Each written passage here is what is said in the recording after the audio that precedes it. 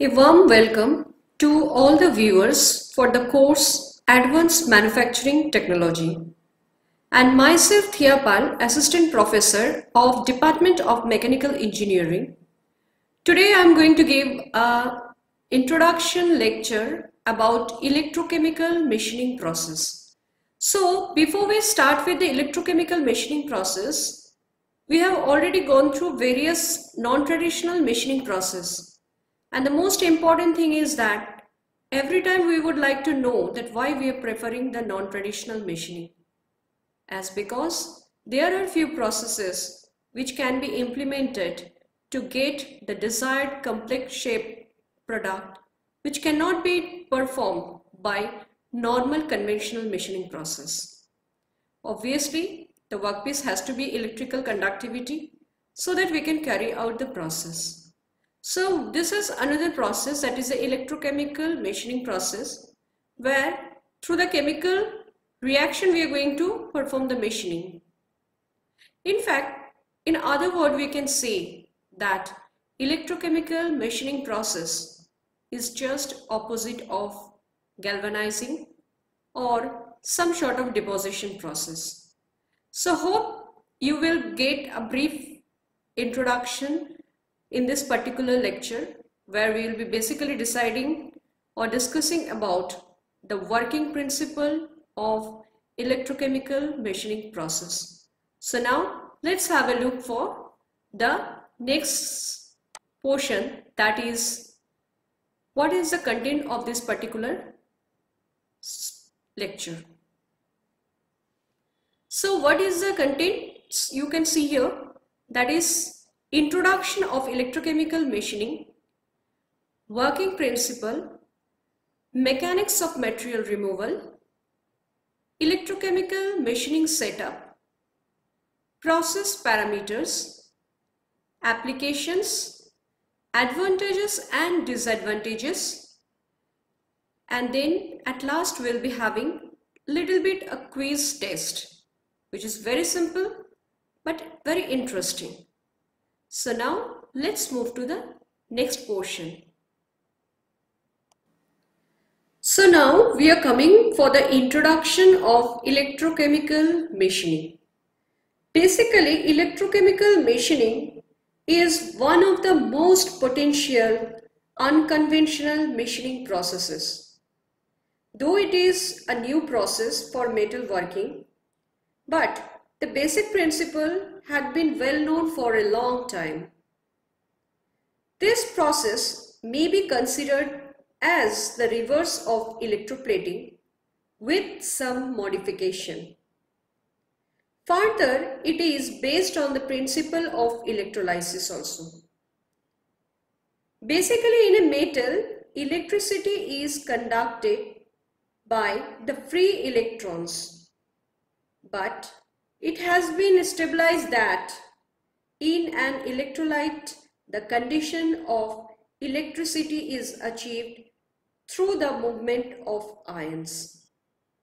Thus, the following of current through an electrolyte is always accompanied by the movement of matter.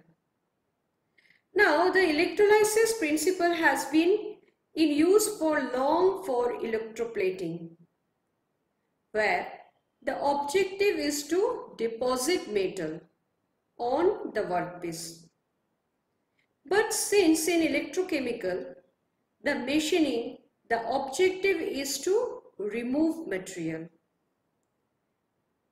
from the metal or the workpiece which is connected to the positive and obviously the tool is always connected to negative terminal.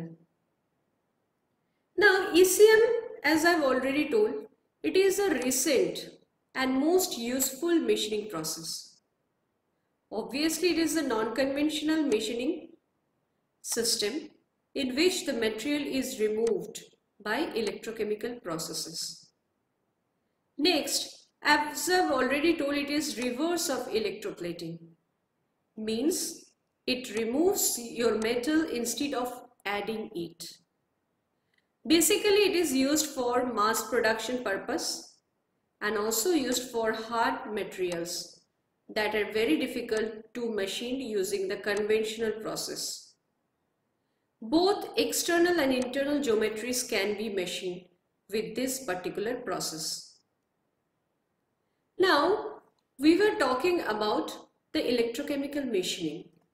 As you know, this is a very important or most potential unconventional machining process. Though it is new for metal working, but the basic principle is always known for a long time. And the most important thing is that the process may be considered the reverse of your electroplating. And some modification has been also added to it. Further, the principle is basically based on electrolysis process. And I think electrolysis process is known to all of us for a long time ago. Now, in electrochemical material removal, an electric field in an electrolyte destroys the atomic bond of the material. Now, let's have a brief look at the history and the early development that has been performed for electrochemical machining process. So if I go for the year in 1929, then experimental electrochemical machining process was developed by W. Gusev. So in the year 1929, electrochemical machining was first introduced by W. Gusev. Next, in the year 1959, commercial process was generated by the Anocut Engineering Company. So the process was invented. After that, its commercial process was basically generated by the Anocut Engineering Company. Now in the year of 1960s and 1970s, gas turbine industry was introduced and where this process was being used for several time. Next, later with the passage of time, rise of electrodischarge machining in the same period slowed down the electrochemical machining research. With the advancement of technology, the demand of some non-traditional process has been slowed down because electrodischarge machining is much more advanced process than your electrochemical machining with respect to research area. Now, original problems of poor dimensional accuracy and environmental pollution faced. In ECM, the original problem was associated was poor dimensional accuracy and your environmental polluting waste was generating in a high amount. So to avoid this particular thing, the new process raised and that is electrodischarge machining and with the increasing or raise in demand for EDM decreased the demand for ECM in the history of non-traditional machining. Now you can see that this is a basic symmetric diagram for electrochemical machining. And you can see this is basically your tool electrode. And it is connected towards negative terminal as you can see here. And this is your workpiece which is connected to positive terminal okay now if I go through this particular picture then very basic principle has been explained here that is in this particular figure, it shows a workpiece. A suitable shaped tool has been used and the gap between the tool and the workpiece being filled with suitable electrolyte. So what I am telling, this is your tool electrode, this is your workpiece, this is the cap you can see and basically this cap is totally filled with suitable electrolyte. Now, when you pass the current again I am repeating, when you pass the current or when the current is passed, the dissolution of the anode occur. Again I am repeating, when the current is passed or when you are passing the current, the dissolution of the anode occurs. However, the dissolution rate is more where the gap is less. So you can see the gap is very less in this particular condition and if the gap is less then the dissolution rate will be more. Again I am repeating if the gap is less then dissolution rate D-I-S-S-O-L-U-T-I-O-N dissolution rate will be more will be more but if I consider the same condition in the vice versa that means for this condition the gap is more so dissolution rate, here you can see gap is more. So your dissolution rate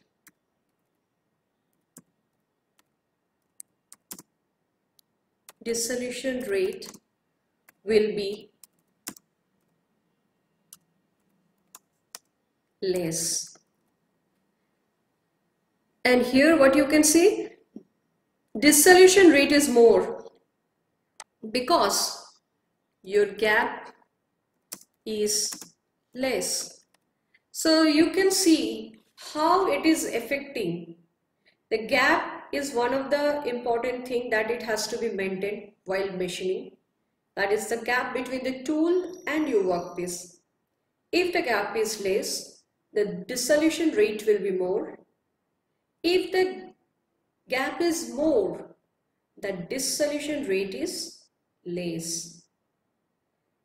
Next, if the dissolution rate is less, then what it will happen? When the gap is less, the dissolution rate is more and vice versa. Now the current density is inversely proportional to the gap. The current density is inversely proportional to the gap. That means if your gap is more, your current density will be less. And if your gap is less, then your current density will be more.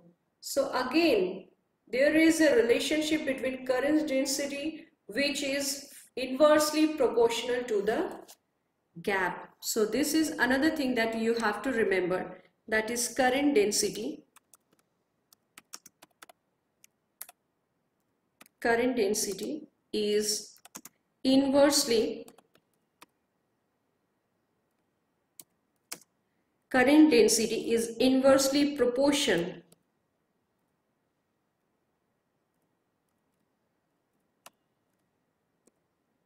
to the gap So you have to remember this one also that current density is inversely proportional to the gap.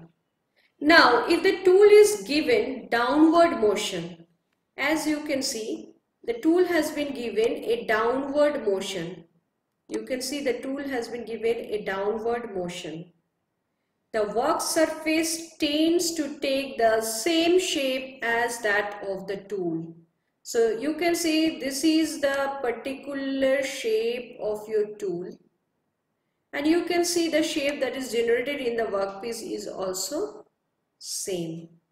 So when you are inserting the tool over the workpiece, it is gaining the shape as that of your workpiece. I mean to say as that of your tool, you are getting the shape over the workpiece and at a steady state the gap is uniform. You can see the gap is basically uniform, isn't it? So this gap is also maintained uniform as you are able to see in this particular figure. Thus the shape of the tool is reproduced in the job. So you can see this is the tool. This is the flat surface of the workpiece. But gradually when you are inserting the tool over the workpiece, it is gaining the shape of that particular tool. In an electrochemical machining process, the tool is provided with a constant feed motion. So what I was talking, the feed motion has to be constant. Feed motion, feed motion, that has to be constant. Okay. So again I am repeating that is in an electrochemical machining process, the tool is provided with a constant feed motion and the electrolyte is pumped at a very high pressure through the tool and the small gap between the tool and the workpiece. So now let's have a look for this particular figure. So this is the basic working principle of electrochemical machining. And you can say this is your tool. This is your tool. Okay. And this is the constant feed motion that I was talking. The tool has given a constant feed motion. And you can see this is the portion through which the electrolyte has been inserted and this has been done insulation has been obviously done this is the positive terminal. This is your negative terminal. Positive terminal is connected to workpiece. Negative terminal is connected to the tool and low voltage high current DC supply has been provided. And you can see this is the portion where you have got the splash electrolyte. This is getting ejected here. This is the tool. This is the workpiece Electrolyte is flowing and it has been inserted at a constant feed motion. And you can see the electrolyte is pumped. The electrolyte basically it is pumped at a high pressure through the tool and the gap between the tool and the workpiece. The electrolyte is so chosen that the anode is dissolved but no deposition take place on cathode. I mean to say on the tool. Again I am repeating. Have a very clear look at this particular point. The electrolyte is so chosen that the anode is dissolved. I mean to say anode means your workpiece is getting dissolved. But no deposition takes place on the cathode. I mean to say over the tool. Now the order of the current and voltage are a few thousand ampere. You have to maintain some order for current also and for voltage also. So if I have a look for current, you are going to use few thousand amperes. And if I talk about the voltage, then basically you have to choose the voltage between 8 to 20 volt 8 to 20 volt you have to choose. Next, the gap is of the order. You are maintaining a certain gap, isn't it? You can see this is a certain gap has been there. Then what should be the distance of the gap? So gap distance that has to be measured between 0.1 to 0.2 millimeter. So you have to maintain a gap between 0.1 to 0.2 millimeter. In a typical machine, the material removal rate is about, if I talk about the material removal rate, that is MRR, it is none other than 1600 millimeter cube millimeter cube per minute so in a minute you can see 1600 millimeter cube material is removed per minute. And what should be the current that they are using? It is always 1000 ampere. It is used 1000 ampere. approximately 3 kilowatt hour are needed.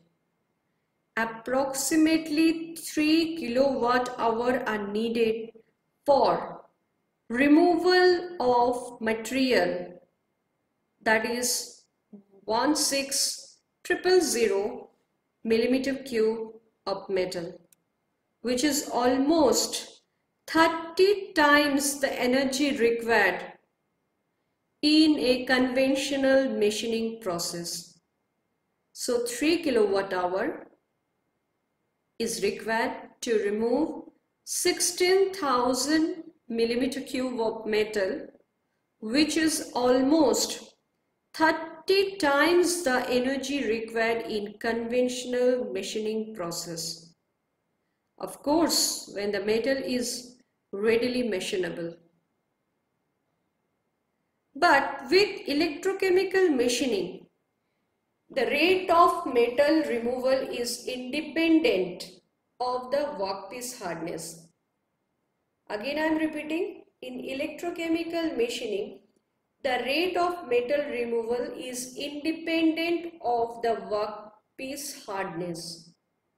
So, ECM becomes advantageous when either the work material possesses a very low machinability or the shape to be machined is complicated. Again I am repeating ECM becomes advantageous with work material process a very low machinability or the shape to be machined is complicated. Now, unlike most of other conventional and non-conventional processes, there is particularly no tool wear for electrochemical machining. As I've already told you that no deposition is occurring at the cathode. It means no deposition is occurring at the tool and if no deposition is also occurring no tool wear is also occurring in this particular process.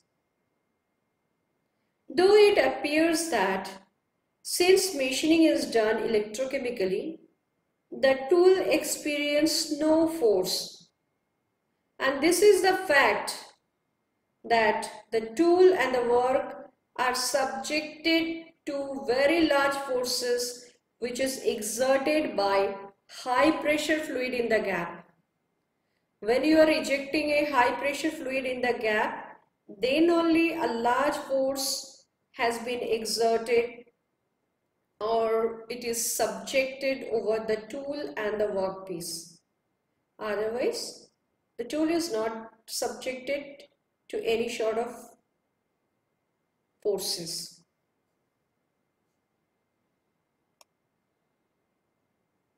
So now after having the entire working principle that I have already explained with the help of diagram, we are going to just discuss few things that we cannot overlook for the electrochemical machining process. So let's have a look.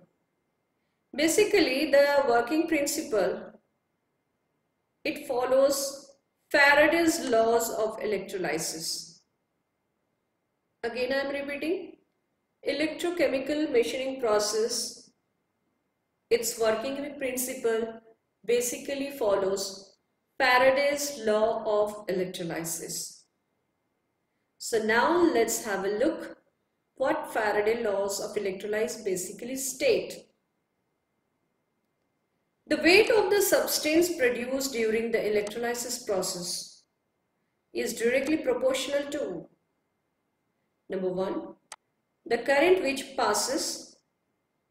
Number two, the length of time of the process. And number three, the equivalent weight of the material.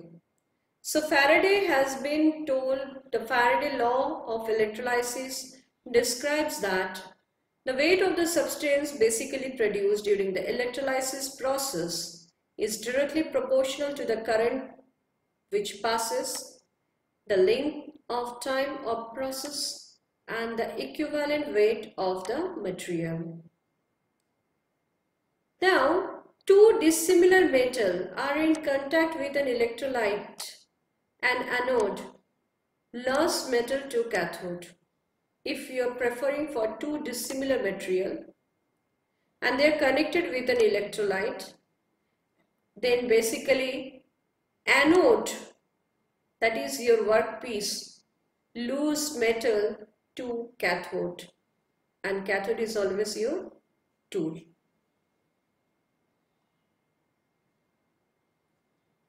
Now you can see this is another figure. It has been stating the basic material removal of this particular working principle. So you can see this is your workpiece which is denoted as anode and this is the cathode electrode. This is basically your tool. This is your basically tool and you can see there is a current density and it has I have already told that current density having a relation inversely proportional to the gap. If your gap is more, the current density, if the gap is more, current density will be less. If your gap is less, your current density will be more. So you have to remember this particular relation. And you can see this is the tool, this is a gap there is present and this is basically filled with electrolyte. Later on you can see this tool has been inserted over the workpiece to gain the shape of that particular tool. So now we are coming to a basic formula according to the Faraday law of electrolysis. If M is represented at weight of material in gram and I is represented as current which is in ampere and if T is represented for the time in second then this eta that is the gram equivalent weight of the material and F is been denoted by constant of proportionality that is the Faraday that is 96,500 coulombs. Then what is the weight of the material that is M is always represented by I into T into eta by F. So hope you will be able to calculate the weight of a material during the machining.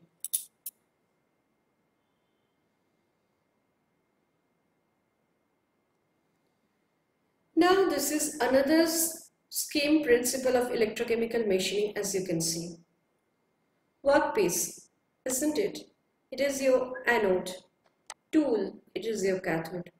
So you can see this is workpiece this is tool and this has been a chamber which has been filled with electrolyte in this condition also here also. Now just have a look here. If the gapping is more initial stage the gapping is more. And slowly slowly when you are pushing the tool towards the workpiece you can see it is gaining the shape of the tool over the workpiece isn't it? And what we have taken here anode we are always taken as workpiece cathode as your tool and electrolyte is an electrical conductivity fluid. Obviously the electrolyte has to be electrically conductivity of fluid. Then only the process will occur. Otherwise it is not possible So again I am repeating with this particular diagram. All of you, you have a look here. Workpiece that is your anode. Tool is your cathode. And in the initial state, this is the initial stage and this is the steady state. So initial stage what you are doing is that you are slowly slowly inserting over the workpiece. And you can see here the material removal is occurring in the workpiece. But the material is not getting deposited over the tool. And the most important thing is that this tool is getting the shape over the workpiece. So the shape you want in the workpiece, it can be achieved by the shape of the tool that you are selecting. And the most important thing is that electrolyte it should be an electrically conductivity fluid. Now we are having a brief look at the process. What the process is showing that is during electrochemical machining process, there will be a reaction occurring at the electrode that is at the anode or it is workpiece and of course at the cathode or the tool along with the following reaction. So you can see what are the possible reaction that are occurring at the cathode and what are the possible reaction that is occurring at the anode. So if I go for the cathode, you can see. So we are going to have a look for the following reaction which is possible at the cathode. Okay, so cathode means at the tool. So what is the reaction you can see? Na plus plus electron minus, it gives you Na. Next, Na plus H2O that gives NaOH plus hydrogen H, you can see here, H plus. Now this 2H positive plus 2 electron negative that helps to get hydrogen evolution. And the most important thing is that the following reaction occurs at anode that is the iron workpiece. That is Fe that is gives Fe and 2 electron minus. And when this Fe plus plus get combined with 2Cl it gives you FeCl2 and next you can see Fe plus plus plus 2OH that gives you FeOH2 and last that is FeCl2 plus 2OH that gives you FeOH2 plus 2Cl minus. So these are the reaction that are basically occurring at the cathode and these are the basically reaction that are occurring at the anode. So you just have a look here. This is the representation of electrochemical reaction. This electrochemical machining process is occurring due to this electrochemical reaction. So this reaction you are able to see here. This is the workpiece which is of iron and this is the tool and you can see in between them there is a gapping and this is totally filled with electrolyte. So in electrolyte what you are able to see Fe OH minus then you can see H plus, Na plus. So all this thing you are able to see here. So this Fe plus plus and this chlorine they get combining into FeCl2. And here you can see what you are able to get. That is FeOH2. So finally, this is the end of the first part of electrochemical machining process. So what we have already discussed, it is all about the general introduction of your electrochemical machining process. So if I describe it in a briefly manner, then what can I say is that that electrochemical machining is obviously one of the most potential unconventional machining processes. Though it is very new process for metalworking, but the basic principle was known to all of us for a long time. And what important thing is that this process may be considered at the reverse of your electroplating with some modification. And the most important thing is that it is basically based on the principle of Faraday law of electrolysis. And in a metal, electricity is conducted by the free electron but it has been established that in an electrolyte, the conduction of the electricity is achieved through the movement of ion. And what we have also discussed in this particular lecture about the tool, whatever shape you want to obtain over the workpiece, you have to be very sure while selecting your tool. Because the tool, the shape that you are selecting it will be totally impinging over your workpiece when you are forcing it to be gated over that particular portion. And electrochemical machining, it's a non-traditional machining process and obviously it is belonging to electrochemical category. as we have already discussed, non-traditional machining has got several category. One is the mechanical category, one is the electrochemical category, another you have got some EDM that is the heat generation. And in the mechanical category, we have already discussed about abrasive water jet machining, abrasive machining, ultrasonic machining. So today, in this particular lecture, we have covered up what is electrochemical machining process is. What is the basic history behind the mechanical history or you can say that how it was invented, when it was invented and by whom it was invented.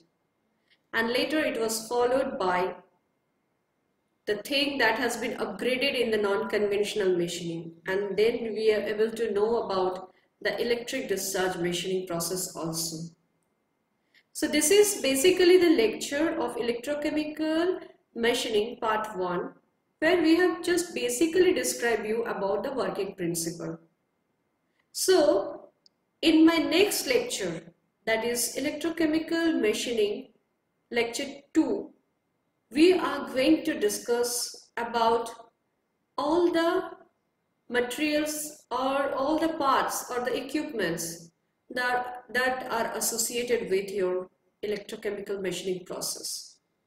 We are also going to discuss about the effect of this particular material or the parameters over your machining process. We are also going to describe about various advantages, various disadvantages of this electrochemical machining process. And of course, we are going to discuss about the applications that has been included for various section. Hope from this particular lecture, it is clear to all of you what is electrochemical machining processes. And the most important thing is that, as I've already told you, electrochemical machining is opposite of electrochemical or anodic dissolution at atomic level. Okay, and of course it is also opposite of galvanic coating or deposition process. And next is ECM can thought to be controlled by anodic dissolution at atomic level of the workpiece and that is electrically conducted by a shape tool due to the flow of high current at relatively low potential difference through an electrolyte which is quite often water-based neutral salt solution. So guys, if I just have a look for that what is the objective for going with the electrochemical machining or what is the objective of this particular study, then first it is to identify electrochemical machining as a particular type of non-traditional machining process. Every subject has got some objective, isn't it? So what is the objective that we are following for this particular lecture? It is obviously our identification of electrochemical machining Next, the basic working principle of ECM process that we have already covered up. Next is we have talked about the schematic diagram of electrochemical machining. Then we have also talked about the tool potential drop little bit way but in the next lecture we will be going through this particular portion at the first. Then it will be followed by the material removal mechanism. We have to identify what are the process parameter that is associated with electrochemical machining process. Then there is a model for material removal rate. Again, we have to analyze the dynamic of electrochemical machining process. We have to identify the different modules of electrochemical machining equipments and then last but not the least, we are going to talk about the applications because every process why we are using, it has got some application, isn't it? So we have to be very sure about the applications. In my next lecture, I'm going to discuss about it. And the most important thing is that every process has got some advantages as well as disadvantages. So we'll have a brief look on the advantages and disadvantages also. So thank you guys for listening my video. Please stay connected with me so that in the next lecture you can get the overview of all this particular process that I have discussed here. And thanks for listening my video as well as having a look at the video. So please stay connected. If you have liked the video, then please like it and subscribe my channel to get more updated. Thank you.